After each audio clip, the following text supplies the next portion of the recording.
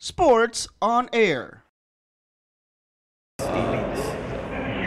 Coach, ano na lang, ah, opinion on yung, of course, recent uh, 14th place finish ng Gilas U19. Uh, what did you think of her performance? May, may mga tinakot din tayo. Ah, ng, ano, actually, uh, I saw some games or a lot of the games, most of the games actually. I still feel na uh,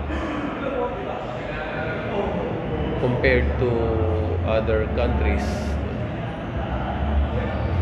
hindi na tayo masyadong algabyado sa height pero sa maturity ng laro napaka-mature ng laro ng mga ibang ano no, ng ibang mga bansa Europeans especially. And these Europeans they come off yung mga basketball academies not just the school Grassroots.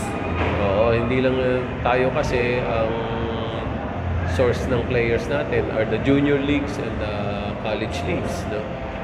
Sa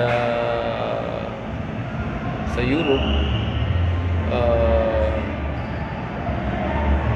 aside from yung regular school league sila, there are basketball clubs that take care of the training no, and improvement and development of these players.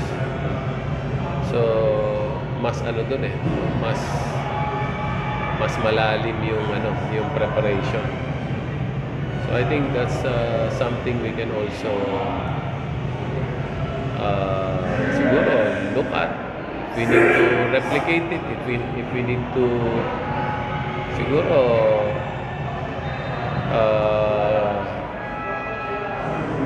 pattern our programs after them uh, mas maganda. Actually, ito yung ano eh.